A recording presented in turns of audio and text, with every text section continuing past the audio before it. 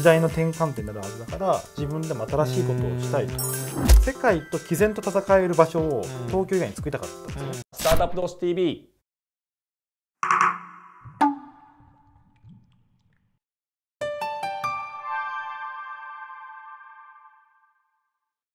はい皆さんこんにちは。えスタートアップ投資 TV ガゼルキャピタルの石橋です。この番組はですねヘンゲさんとイニシャルさんにスポンサードいただきながらお送りをさせていただいております。いつも千葉さん川南さんお世話になっております。え今回からですねまあもしかしたら見ていただいている方にはわかるかもしれないんですけれどもえスパークル代表取締役のえ福留さんにご出演をいただいておりますので福留さん今回からよろしくお願いいたします。よろしくお願いします。今日ですね、まあ、スパークルさんの前身ではい。ある、えっと、誠キャピタルさんはい。の時代から会社さんとしては、はい。VC さんとしてはご認識あるんですけれども、はい。福留さんとは、まあ、付き合いもまあいい意味で浅いっていうところがあるかなと思いますので、はい。まあ、いろいろとなんかご経歴とかそもそもなんで今、まあ、VC としてしかも MBA をして独立したんだっけみたいなお話も、まあ、ちょっとだ順を追って、はい。いろいろ伺っていきたいと思っているんですけれどもあのスパークルさんですね、まあ、前まあ誠キャピタルさんはあの東北地方に特化っていうべきなんですかね。まあそうですね。根ざしてますね、ねはい。根ざした、えっと、ベンチャーキャピタルさんとしてやられてらっしゃいますので今日ちょうどあの青森からあの弾丸で来ていただいたらしくてアメちゃんですよね。リンゴが有名なのですごい可愛いやめちゃん。ありがとうございますだそんな感じでっていうのも変なんですけど、はいそもそもじゃあ仙台というか東北やっぱご出身なんですか？実はそうじゃないんですあよそうなんだ、はい。私はですねあの大阪の堺出身でして。全然違う、はい、東北とゆかり縁ができたのはですね、あの東北大学にあ入学したからです。大学生の時からじゃあ東北行かれたんです、ね、そうなんですよ。でしかもそのタイミングがたまたま2011年の4月というところがありまして、えー、あじゃあ震災直後でですなので入学式はなかったんですあねーはいはいはいはい。受験はあったけどそうです。もそれここが決まってて1年生？になってじゃあもういきなりその状態で行ったってことですね？そうです。で入学式なくてゴールデンウィークの終わった時から仮設校舎で授業があってで周りの子はすごく悲しんでる子とか、はいはいまあいろいろ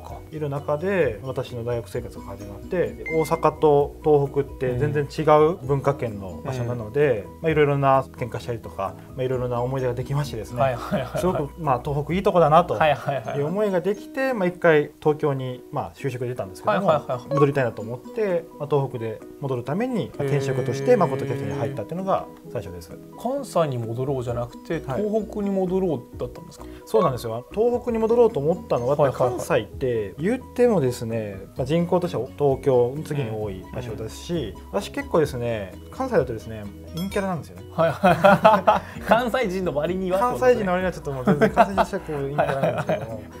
その中で東北に行くと引き気味のこの関西人がフィットしたらしくてですね。はいはいはいすごく楽しく 生活できたんですよね。なるほどで関西に行っちゃうとまたそのね 自分が出ていけないと思う時にはいはいはい東北に行ったらちょうどいいんじゃないかなと思って今はすごく楽しく過ごしてます。スタートアップ同士 TV ここからはスタートアップの成長に必要な人材と投資家をつなぐゲートとしてスタートアップ企業さんと事業会社さんの両面をサポートするソーシングブラザーズさんの提供でお送りいたします。新卒の時は、えっと、東北大学卒業されてどういう会社に行かれたんですか？金融系に行かれたんですか？あでもなくてですね。もともと私東北大学では、はい。あの通信工学はいっていうのを勉強しててあの携帯の電波とかですね。で 5G の研究はいはいはいはい。AI の研究してたんですけども、まあ、そこで大学の途中でですね留学をしましてはスイスに行ってたんですけへども。ー。でそのスイスに行った時に、まあ、技術だけだと意味がなくて、うん。やっぱり社会実装しないとダメだと、でこの社会実装をいかにするかっていう中では VC だったりとかうん。あるいはコンサルみたいな人たちが頑張ってらっしゃるっていうのを知ったんですよね。まあ、東北大学だとやっぱり推薦がいっぱいあって、うん。研究職にいっぱいなれるんですけども、しっかりと社会実装していきたいなと思ってですねコンサルにまず行こうと思ってシグマクシスという、まデジタルに強い、はい、コンサルに行きまして私もともと幼稚園の頃からずっとパソコンいじってるような可能高あそうなのでプログラミングでもすごいやってたんですけどもへなのでその自分の技術的な、まあ、デジタル的な知見も生かしつつ、はいは社会実装できるっていうところで入りました。えシグマックスさんにはトータルどのぐらいいらっしゃったんですか？あでも全然いなかったですね。2年とはあはあはあ。8ヶ月だから3年弱ですまあ約3年ぐらい約3年ですね。はい、えー。それでご前職っていうべきなのかわからないですけど、はい。東北戻られて誠さんに入社されるんですかもう？そうですね。東北に戻ろうと思ったのはたまたまで、誠の先代の武井はいはいはい、さんの創業者震災を機に作ったのが誠って会社なんですけどもその誠の記事をどなたかのフフェイスブックで流れて見てですね私酔ってたんですけども、面白い会社だなと思ってその時にたまたま私の先輩がまあ社員だったのもあって、はいはいはいはい。あのこんにちはみたいな形でですね連絡すると、まあ、トントンと進んですごく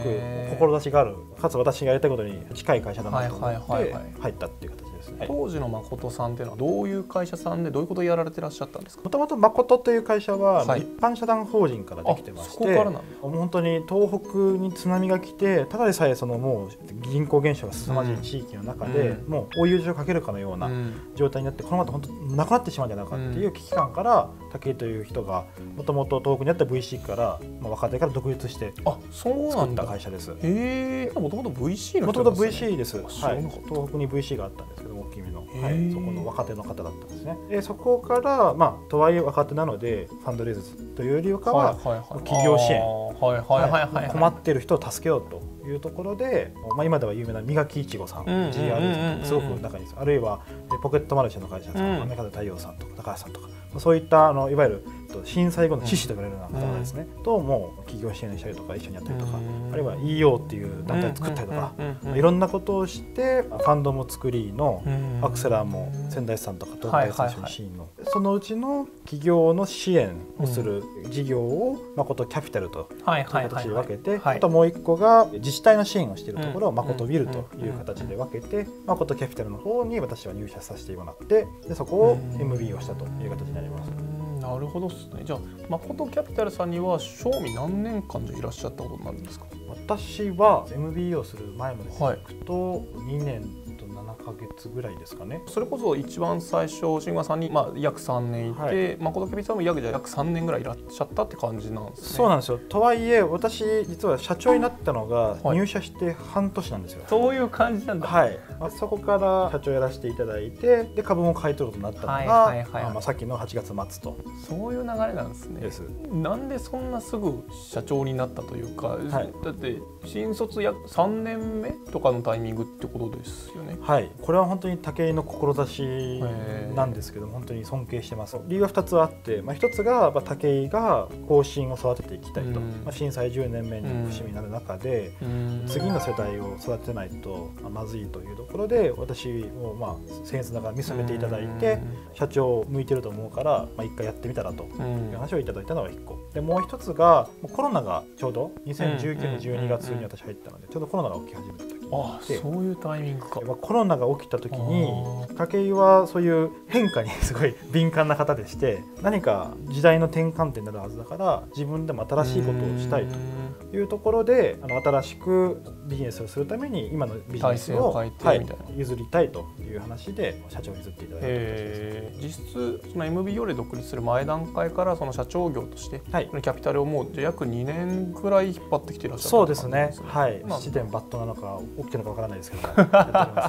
ま誠キャピタル時代の話を引っ張っていくとどんどんそのファンドの話になっていっちゃうす。のでそうですね。まあ、そこを避けていくとなんでその VC として独立しようと、まあ、ある意味 MBO しないかとか社長やらないかって話になってくる、まあ、もちろんそれがグループの中での社長であれ MBO するという社長であれ、はい。なんでそのそれを選ぼうと思われたというか、はい。まあ、他にももしかしたら選択肢がいろいろあられる中でなんで VC としてやっていこうというふうに、まあ、思われたんですか？これはもう本当に東北に行く前のちょっと話に戻るんですけども、というかシグマクシスですあね。東京時代です。はい。東京時代に私がそのまあ感じたこととしては、まあ東京にはすごくビジネスのチャンスがあるし、うんお金もふんだんにあって、まさにその大企業向けのコンサルティングファームというのが成立するような世界がありますと。確かにただ逆に私が知っていた、まあ、東北っていうところはそういう世界ではなくて、うんどっちかというとその牧歌的なうんものを、まあ、強要されてるのか望んでるのかはいはいはい。東京には資本主義があってみたいな、まあ、そういう、まあ、対比構造が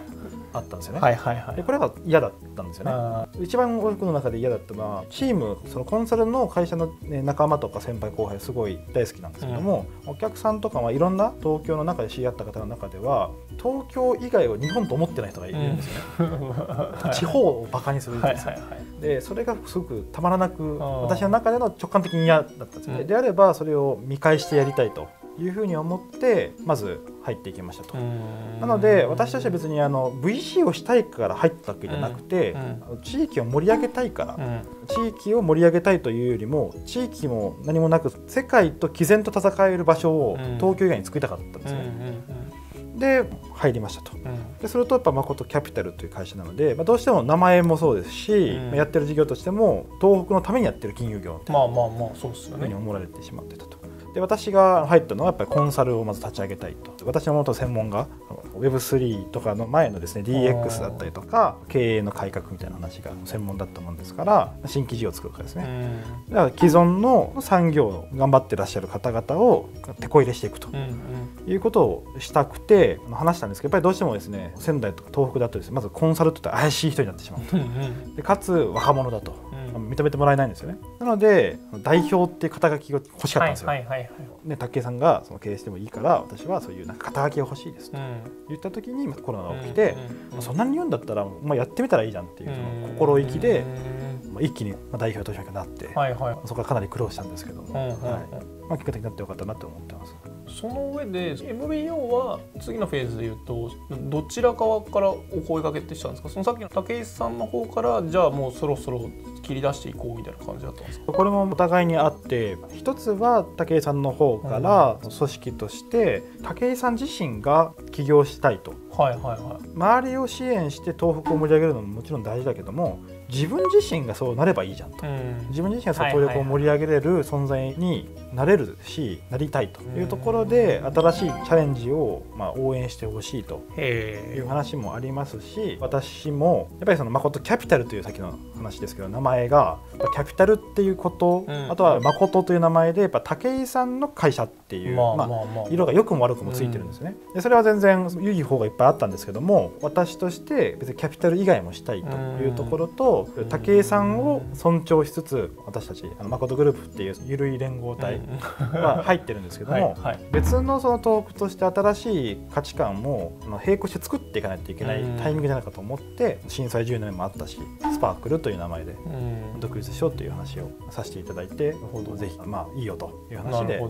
まあそういった形になってます。おそらくこれのお話も多分突っ込んでいくとより自己紹介とは別のベクトルの話が始まっていかねないのでファンドのお話は第2弾のはい。配信でちょっといろいろまた深く突っ込んでいきたいと思ってますし、はい。まあ、界隈でも最近増えてきてるというか、ね。まあなんかいっぱいいるじゃないですか、はい。MBO をする人、はい。なんでなんだっけみたいなところとかもあの福留さん目線視点で。はい。こういう背景やっぱあるよね。だからこういうはい歪み、い、い意味でも悪い意味あるよね、うんっていうところはあの誠キャピタルさんに限らずというか、はい。一般論ベースでもいろいろ教えていただければなと思っておりますのでまた次回もぜひよろしくお願いしお願いいます。たします。ありがとうございます。皆さんも最後までご視聴いただきましてありがとうございます。ぜひあの次回も見逃さないようにですね、チャンネル登録の方もしていただきながらお待ちいただければと思っております。それでは次回の配信でもお会いしましょう。さよなら。